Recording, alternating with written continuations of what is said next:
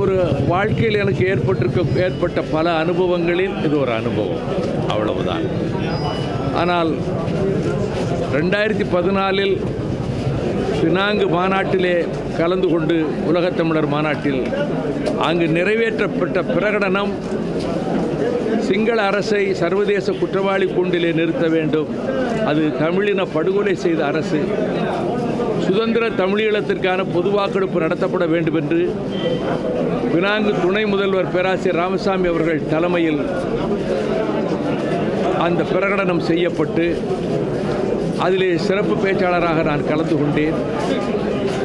கோலாலம்பூரிலே வந்து நாடாளுமன்ற உறுப்பினர்களை சந்தித்து சிங்கள அரசு செய்த ஈழத் தமிழின படுகொலையை பற்றி விவரித்தேன்.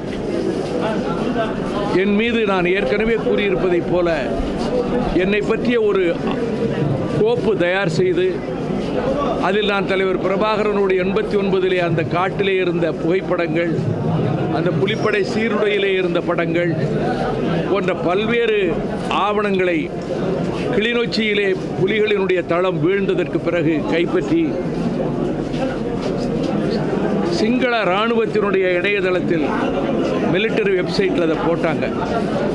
அதை எடுத்து தான் இது ஒரு ஃபைல் ஆக்கி எல்லா தூதரகங்களுக்கு அனுப்புறது எப்படி தெரியும்னா அமெரிக்க தூதரகத்தில் உங்களை நீங்கள் தடை செய்யப்பட்ட இயக்கத்தை சேர்ந்தவர் you are ineligible to get விசான்னு consul general என்கிட்ட நேராக சொன்னார். ரெண்டாயிரத்தி ஒன்பதில். நான் முத வருஷம்தான் பாரக் ஒபாமாவை பார்த்துட்டு வந்திருந்தேன்.